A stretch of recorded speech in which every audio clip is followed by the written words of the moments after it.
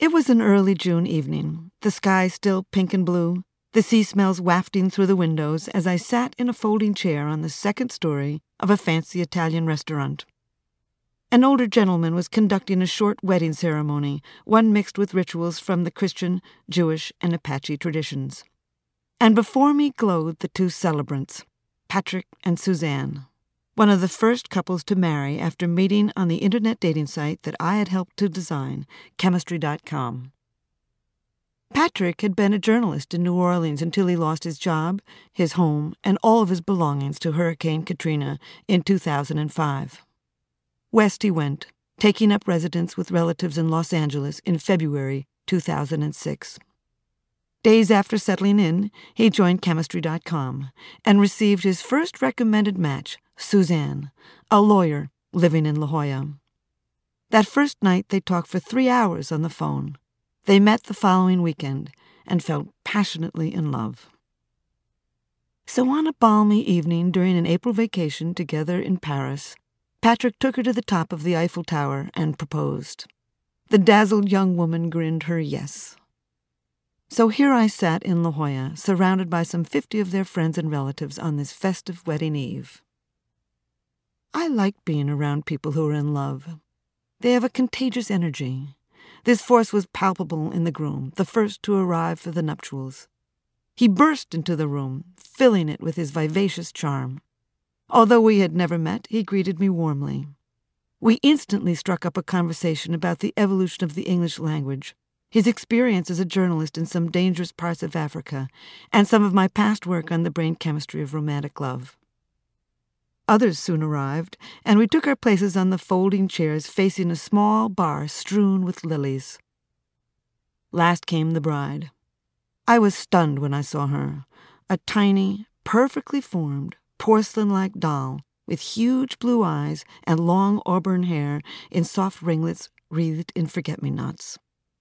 Like the mythological Helen, Suzanne had a face that could launch a thousand ships, and her vigor matched his. She was enraptured by her prince, gazing at him and grinning with uncontainable effervescence as she said, I do. Someone played a flute, the Apache poem was read, and as the bride and groom walked down the makeshift aisle between our seats, we blew bubbles at them from the little bottles left on our chairs. Then came the feast platters of cavatelli marinara, antipasto rustico, mussels, sausages, chicken fra diavolo, a host of Italian favorites appeared at every table amid the balloons, confetti, and champagne as the disc jockey blasted out old tunes and we wildly danced. Patrick and Suzanne swirled among us, radiating joy. Love hopes all things, the Bible says. I hoped for Patrick and Suzanne. But I also had a reason to be optimistic about their marriage.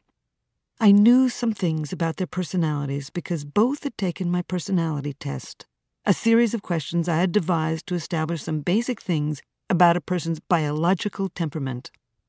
Both had told me their test results. And from these data, I was confident that Patrick's particular chemical profile would complement Suzanne's, creating a biological and psychological cocktail that could keep them captivated with each other for years. We have many inborn tendencies, Indeed, scientists now believe some 50% of the variations in human personality are associated with genetic factors. We inherit much of the fabric of our mind. But what is personality? Psychologists define it as that distinct cluster of thoughts and feelings that color all of a person's actions. Your personality is more than just your biology, of course. Personality is composed of two fundamentally different types of traits those of character and those of temperament. Your character traits stem from your experiences, your childhood games, your parents' interests and values, how people in your community express love and hate, what relatives and friends regard as polite, dangerous, or exciting, how they worship, what they sing, when they laugh, what they do to make a living and relax. These and innumerable other cultural forces combine to build your unique set of character traits.